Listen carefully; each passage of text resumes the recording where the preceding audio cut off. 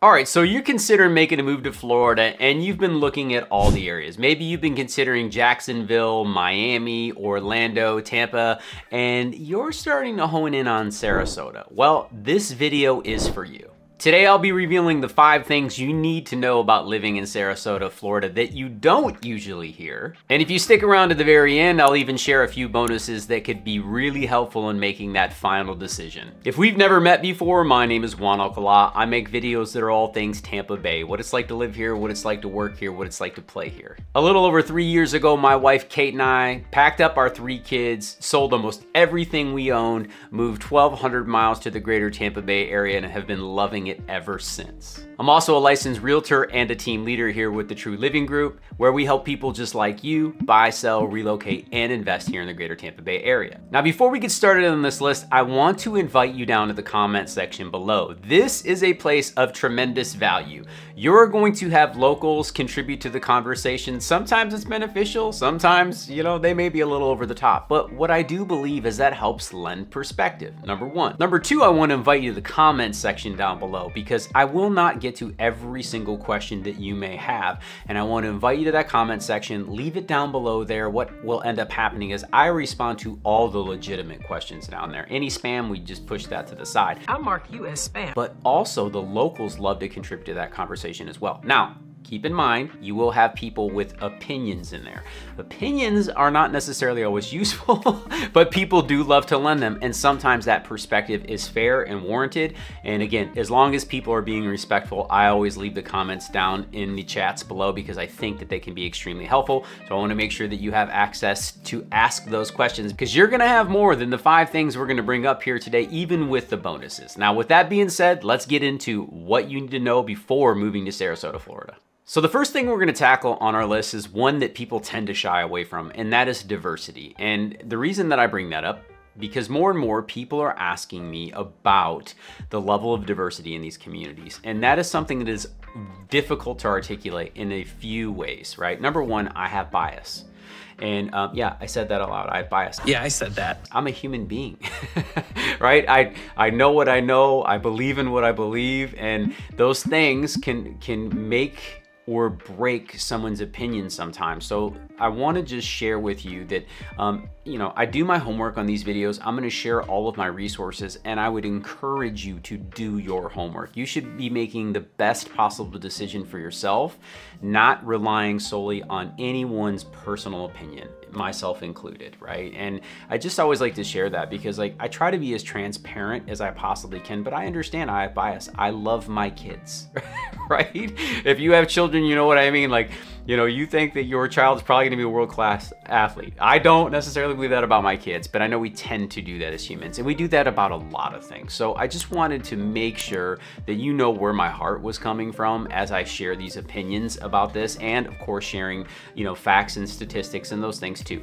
I'm gonna share all the resources, I'll put them down below so you can have access to them as well, because I think they're incredibly valuable when, when it comes to making a decision. So I wanted to share that with you. All right, so getting into the diversity. One of the things about Sarasota, and let me share my opinion, you know, 10 years ago, we started the dream of moving to Florida. We really believed we were going to live um, in the Jensen Beach, Stuart, Port St. Lucie area, which is on the Atlantic side of Florida, the ocean side. And for years, my mind was that Sarasota and South Florida was full of nothing but retirees um, who were living out their golden years and you know it was all old folks playing golf pulling their pants up to their boobs and retiring forgive the analogy here but like literally that is the line that i was fed I was fed that by everybody around me who really was, you know, for lack of a better term, they were ignorant of it. They didn't know they weren't here. Um, and, and I bought into that narrative. And let me just say that that is entirely inaccurate. Uh, there are there are some truths in that, and we're going to talk about that specifically, but that is not the only thing that exists in Sarasota. Um, as a matter of fact, it's not even a majority of the thing. So I wanted to bring that to you to the table because I remember when people would tell me things, right? Uh, Florida has mosquitoes the size of pterodactyls. Damn mosquitoes. You're gonna get eaten by an alligator if you go to Florida. I mean, all of these things that I was told that you need to be worried about that in all actuality have been some of the least um, disruptions in my life over the last five years. And diversity is one of those things for sure, right? And um, you can go look up the statistics about who lives where. And um, one of my favorite resources to use is a website called niche.com. And niche gives communities an overall ranking. Um, Sarasota is a county on the Gulf Coast of Mexico, in case you weren't aware. It's about an hour south of downtown Tampa. To go from downtown Tampa to downtown Sarasota, it's about an hour and 10 minutes, give or take. You can be there in an hour, you can be there in an hour and 15, depending on traffic. It's about an hour and 45 minutes to Cape Coral, two hours to Naples, um, two hours to Orlando. Again, give or take traffic on that as well. It's really well located. It has its own international airport. Now, while flights may be limited there and they tend to be a little bit more expensive, um, you do have those options. So I wanted to share that with you. But one of the things that, I, again, my mindset was it was full of retirees. And to be honest with you, that was real for a very long time. But Sarasota has really started to approach things in a different light, um, bring new and exciting um, communities and developments to the county and to the area.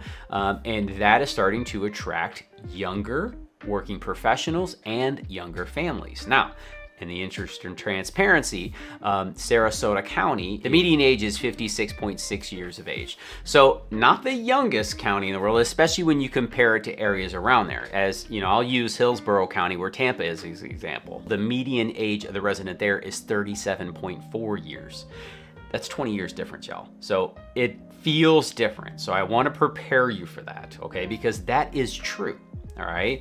Um, there are more retirees in Sarasota County and in Sarasota than there are in the greater Tampa Bay area in general. You know, Lee County, Charlotte County to the south, you've got Hillsborough, Pinellas County, and Pasco County. They're all younger than that. You know, Pinellas County, um, where the Gulf beaches are, Clearwater and St. Pete, you know, that's right around 48 years of age. You go up into Pasco County, and that's right around 44 and a half years of age. So like, I'm, why am I sharing this with you? Because when, when it comes to living in an area, what most people want to see is a reflection of themselves. While people do really appreciate diversity, um, and that may be in different races or culture or food or like, I, and I love all those things, right? They still want to see a representation of themselves. Now, what do I mean by that? People who have a family tend to gather around other people who have families, right?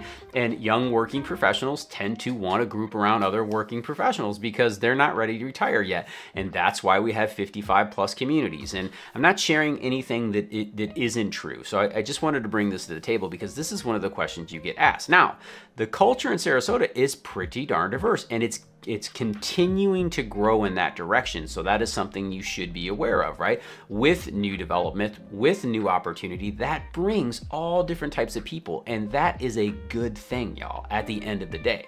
Now, there are some things that you, you know, you want people to be in alignment with you. And those are things you're to have to make decisions on your own, whether that's political or religion or those types of things. But I wanted to dig into this stuff because people always ask, is it a diverse community? Well, first and foremost, go do your homework. Secondly, I would encourage you to come down and when you start your, your, your process for moving, we call it community shopping, go check out what you see around you, right? Does that feel like home? That is the question you need to be asking yourself. Does this feel like a place I could and should either raise a family or work in until I, I make a family or until I retire to? These are considerations that I would encourage you to chase down. In terms of its heritage, Sarasota has some pretty cool preserved historical sites and, and celebrates cultural events as well. The early settlers came from European countries like Scotland and Spain, and you can see that in the architecture and of course the food and dining as well. So if you're worried about the vibe, that's not gonna be a problem because Sarasota is known for having a relaxed vibe and an incredible quality life.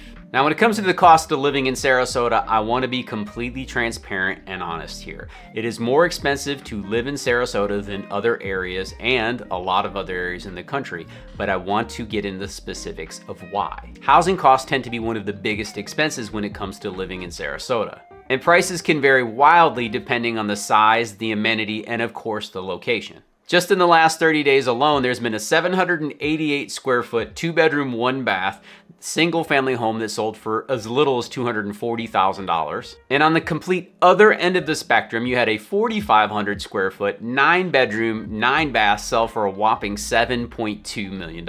The median home price, which we've discussed ad nauseum, is $570,000 over the last 30 days, but the average home price, and let's hear me out, this is the one that's gonna be closer when you start shopping for a home. That one came in for $896,000 for a three bedroom, three bath, roughly 2,000 square foot home.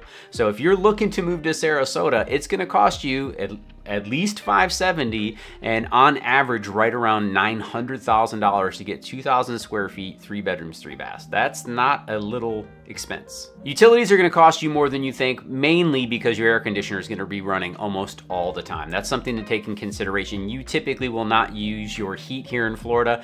It can happen, it's very rare. Usually people have heat pumps and emergency heat. They don't even have a, a real heater or they'll use a fireplace. So just keep that in mind. But you're gonna pay for things like electric. A lot of areas are electric only. You can find electric and gas, but that's the anomaly. Um, I would say that that's not the standard. Also, you're gonna be paying for your trash services, and of course, you're gonna be paying for water as well. So just keep those things in mind when you're moving. Our grocery bills tend to be a little bit more expensive here in my experience. Again, just sharing with you. Um, you know, my wife tells me all about what it costs to go get a bag of groceries now versus what it was three or four years ago. We've all felt the, the heavy hand of inflation. I understand that. But even when we moved to Florida, we noticed that we probably saw a 10 to 15% increase in our grocery bill. So just keep that in mind. Overall, Sarasota offers a very desirable lifestyle that does come with a higher price tag. So just keep that in mind. The fact that you're taking the time to watch this video and maybe even subscribe to this channel tells me that you're pretty serious about moving to Sarasota and Florida. And that's probably because of our incredible weather. And as we roll into number three on our list here, I know everybody talks about the weather. I get that. My goal of this video is to tell you things that people aren't willing to share on Google and aren't willing to share on the internet. So let's cover the obvious first. All right. Sarasota has incredibly beautiful weather, right? Somewhere between 230 days uh, and 250 days of sunshine a year. and I love telling people, like when they ask me about moving from the Midwest to Florida, say, Juan, what's the major difference? And I always tell people the exact same things. You do not have to shovel sunshine, right? And I believe that, to, and I feel it to my core, and I am so grateful for it. However, that does not take into consideration how oppressive the heat here can be. And it is not for everyone. And I want to share this with you because you have the naysayers, right? People are like, oh, it's too hot, it's unbearable. You know, basically, they think that if we live here, we're just absolutely insane. And guess what? That is okay. I can understand that perspective. Just like I think people who live in the snow, who are stuck there, I think that is insane. And that is also okay. I think snow is so beautiful over there. I don't want any part of that. I hate the snow. And I'm willing to sweat through two sets of clothes every day just to not have to ever bundle up, get cold, have car parts snap off because it's freezing outside, break out ice scrapers. I don't want any more of that, right? And, and you know, but it's not for everybody. Those temperatures, which I deemed oppressive, right? That was the word I've heard somebody use before. And I had to, I was like, that is a great word. I'm going to use it because it's fair the way that I equate this is it's like it's like being in an oven that someone put a pan of water in the bottom of in the summer. And I'm talking about July, August, September. Those are our three hottest months. They The average temperatures in Sarasota are right around 89 or 90 degrees during that time period, and it is tough. You see a lot of our retirees, they go back up north or they go out west or wherever else they have homes, they just leave. This is typically when all of our families take vacations as well. That's normal if you live up north, you take your family on a vacation too. I get get it. But here in the South, we travel north at that point trying to get some relief because it can be oppressive. Now, we also have hurricane season, which runs from uh, June all the way through November. And that is something you have to be vigilant about. That is not for everyone. I've told lots of stories about hurricane, you know, I, uh, Idalia just recently and Ian. While uh, we didn't take a direct shot of those, we were definitely a shot across the bow, so to speak. Um, and we had, you know, some storm damage and some flooding in areas, and this is something you need to take into consideration because this type of subtropical climate is not for everyone. You know, those winter months that everybody dreams of in Florida, which are incredible, we get five months with temperatures that average in the 70 degree range, and that is incredible. But we do have to deal with those three months that are really, really tough. And I would even say that June's pretty hot and uh, October can still be considerably warm. We start to get some breaks in there. Um, the, the way that I describe this is, um, is the Lord kind of walks over and turns the switch off in November. It, for me, in our five years that we've been here, it's really been like the second week in November, it's like the humidity goes away, the temperatures are perfect, the sun's shining, like, oh, this is what we're here for. And that we move into our dry season there, but we also have a rainy season and that comes along in those summers. It tends to start in June. It really ramps up in July, August, September. And what do I mean rainy se season? I'm not talking about monsoons like you're gonna see in the Philippine day after day. That's not what I'm referring to, but it will rain regularly, um, almost daily, if you will. And that typically happens in a, you know, in the mid afternoon, somewhere between like two o'clock and 6 p.m. Um, because it's gotten really warm and that's the way that the earth copes with it, right? decides to help cool things down by raining.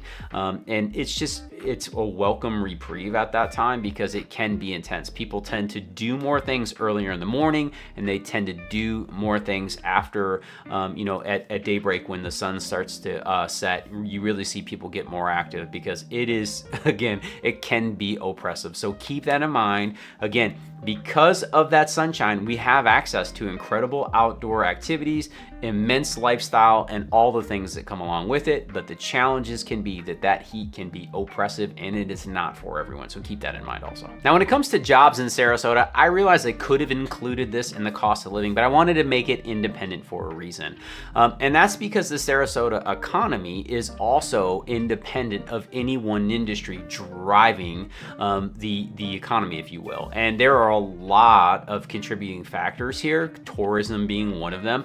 But we all know tourism jobs don't pay well enough to have an $896,000 average home. So where is that money coming from? Because that's what we people tend to ask me quite often, like Juan, this is unsustainable. There's no way people can afford to live here at these prices. And yet, month after month, we continue to see home prices increase. And the reason being is because a lot of the people who are moving and relocating to the area here are bringing jobs with them or they're in professional services. They may be attorneys, they may be doctors, they may be uh, in tech. We see so much tech here in the greater Tampa Bay area. I mean, we're the number two destination in the country for tech right now. We are hot when it comes to that. So we're having a lot of people bring their big incomes. They're working remote. Um, they're able to come down here. We have a lot of independent business owners who live in the area and they are continuing to reinvest. Now, some of the heavy things that, that do influence influence here. We've got financials, we've got tech, like we said. Construction is booming. If you've been in Sarasota for more than five minutes, you can look around. There are cranes in the air in downtown Sarasota. They're building these beautiful new construction buildings. There are new homes going up everywhere. They're tearing down old homes to put up new ones. I don't always love that, but in certain cases, I do think that that adds value, not takes away. Some of these homes can't be salvaged. They weren't built well to begin with. A lot of them were, but the ones that can't be salvaged, why would you not want to replace it with something that adds value to the community? So we're seeing a lot of that. And with our beautiful coastal real estate here, of course, we are very attractive to outside businesses, number one, and to residents. So that's why we're continuing to see this growth. Um, while we are pulling in younger families, which has an increased demand for education, it has an increased demand for professional services, again, like attorneys, doctors, um, you know, educators, like we said. So you're gonna continue to see this as long as the overall economy stays stable. I think you're gonna continue to see uh, Sarasota's job market increase. You know, there are a lot of different factors. People will drive to Tampa to work, but again, the majority of our employees who are high income earners either own their own business or they are working remote, just to give you a little bit of perspective on that. Now, the next topic is definitely a hot button, and no, we're not talking about the weather again. I am talking about traffic. If you are a local, you think that the traffic here is absolutely insane. And who am I to argue?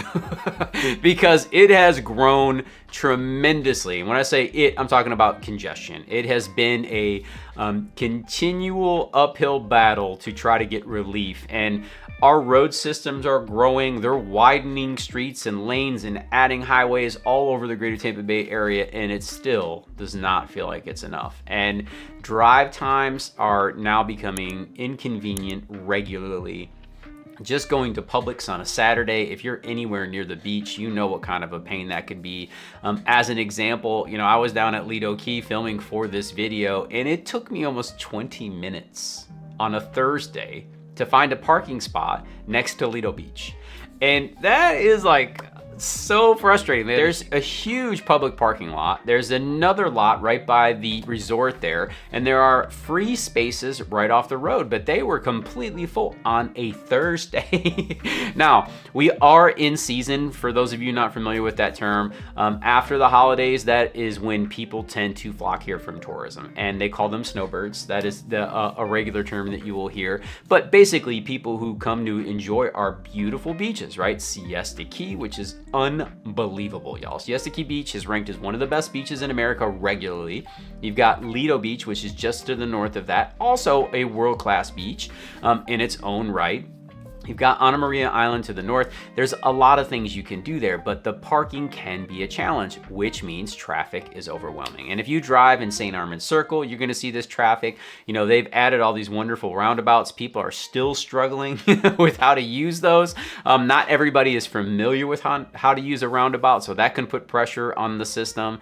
You know, the beaches are really far away from the highway, so if you have to go back to 75, say you're gonna travel up to St. Pete or down to Venice or Naples or something, you know, it's gonna take you a tremendous amount of time. So just keep that in perspective. With all of this wonderful growth, you are going to have challenges. Traffic is most certainly one of them. Driving habits, what people bring to the table, those are another. We've had whole conversations about uninsured motorists in the state of Florida. There are a lot of things to take into consideration about this, but the traffic can be a nuisance. Is it unbearable? I mean, it could be. It depends on your temperament. If you're somebody who is short and angry about everything, you're not gonna like it here. But you probably don't like it anywhere, so keep that in perspective. If you can be patient and realize that, that this is part of the tax that you're paying, um, and I don't mean uh, actual money, well, you're paying a sunshine tax you're moving here to take advantage most likely of the incredible weather and amazing lifestyle that we have here in the greater Tampa Bay and Sarasota areas. And with that, it's bringing a lot of other people with the same mindset as you. So just be prepared for the fact that more people are moving to the area. The infrastructure was not built to handle that massive volume and things are going to take longer. If you just come with that mindset, it'll still be a great day. You'll still have a wonderful experience. The weather will be worth it. If you let an extra three to five minutes on, on your drive time ruin your life, I would encourage you to stay away go to rural Mississippi, go look other other places where you're not going to have to deal with that because the reality is this is probably not going to slow down. It's only going to continue to get worse. Um, and worse is a strong word, but it's going to continue to get more congested. That's probably a better term. And just keep that in front of you. Remember, the sun is shining, the weather is amazing. It is totally worth the exchange. And if it's not, just put that in your back pocket. Now you're gonna have to deal with it. You should probably cross it off your list right out of the rip. Now we've made it, it's bonus time. And before we get into these bonuses, I just want to invite you, if you have any questions about buying, selling, or relocating here in Sarasota or the greater Tampa Bay area, do not hesitate to reach out to me and my team. All of my contact information is down below. Heck, there's even a calendar so you can schedule a time that's most convenient for you. But let's get into these bonuses. I can't wait to share. Number one, and we alluded to this, it's the beaches, y'all people come here for lifestyle. They are moving here for lifestyle. A lot of the times they're moving here for family. It's not often jobs, right? That can be the case, but people come here because they love soaking up the vitamin D and the vitamin C, S-E-A. And these beaches are beautiful. We talked about it. Siesta Key ranked as one of the best beaches in America regularly. You've got Lido Beach, which is amazing. You've got Longboat Key up there. You've got Anna Maria Island to the north. If you want to go, you know, just an hour north of you, you got access to St. Pete Beach as well. And you can drive an hour and a half and be in Clearwater Beach. There is no lack of abundant opportunity to be in gorgeous crystal clear waters, collecting shells, laying out, getting your tan, whatever it is, you will not be disappointed. You could kayak, you could paddleboard. That's one of the most beautiful things about the Gulf of Mexico is it is calm enough on a great day where you can take a paddleboard out and just live your best life. You can float around out there on an inner tube, hang out with the family and friends, whatever it is, it will not disappoint you. Number two bonus is it is a foodie's paradise, man. If you go down to St. Armand Circle, you got access to everything. One of my favorite restaurants down there is called The Shore. This place has a retractable roof, y'all. It's a convertible restaurant. And uh, one of my friends, God bless her, her name was Michelle Tanner. She hosted dinner there and she took us there. And of course we went at sunset and I'm sitting in this beautiful dining area great restaurant. Food was amazing and the roof on the back of the restaurant literally starts to retract. And i was like is, is this real life right now? And it was such an enjoyable experience. Now are they gonna do that when it's super hot outside? No, but at that time of the year, it was absolutely phenomenal. Actually, it was it, right around the same time as I'm recording this now, so it was definitely worth the experience. But you've got the Columbia restaurant, you've got all types of different uh, cuisine. Of course, you've got oyster bars, you've got seafood, you've got um, Latin cuisine, you've got regular American food. You can get anything you want, and that's just in St. Armand Circle. Go check out the other areas. Main Street is absolutely awesome. All kinds of incredible restaurants bars, you know, places to pick up a cocktail. You won't be disappointed down there either. And the third bonus is all the activities. So first of all, my wife considers shopping an activity, so you can put that on the list. University Town Center Mall, if you have never been there, oh my goodness. I, I, I have never been to a better mall. First of all, I'm not a mall guy. But the shopping experience at University Town Center is unbelievable. You have everything at your fingertips. It's set up incredibly well. There's an Apple store down there. That's how I ended up down there at the one time. Um, outside, you got a PopStroke, which is uh, the Tiger Woods inspired like adult putt putt place. It, it, if you've been, if you're familiar with Topgolf at all, then it's like the a putt-putt version of that. It's un it's unreal. You've got Nathan Benderson Park, which is right next, and I'm just talking about the University Town Center. I'm not talking about, you know, the polo fields or all the incredible community parks or, you know, the the the the biking trails, the running there are so many things to do. You know, the art, the the um the concert venues, you've got something for everyone when it comes to lifestyle and activities in Sarasota. You are not gonna be disappointed. And hey, I hope you got a tremendous amount of value out of today's videos. Like I said, if you have any questions, don't hesitate to reach out to me and my team. Also, feel free to put those comments down below, y'all. We will answer those questions. Again, as long as they're reasonable, I got no problem answering them. I love to connect with you guys. YouTube is gonna leave two more videos right here that it thinks you're going to love and it's probably gonna help you make a decision about relocating to the area. And until next time, have a great day. We'll see you on the flip side.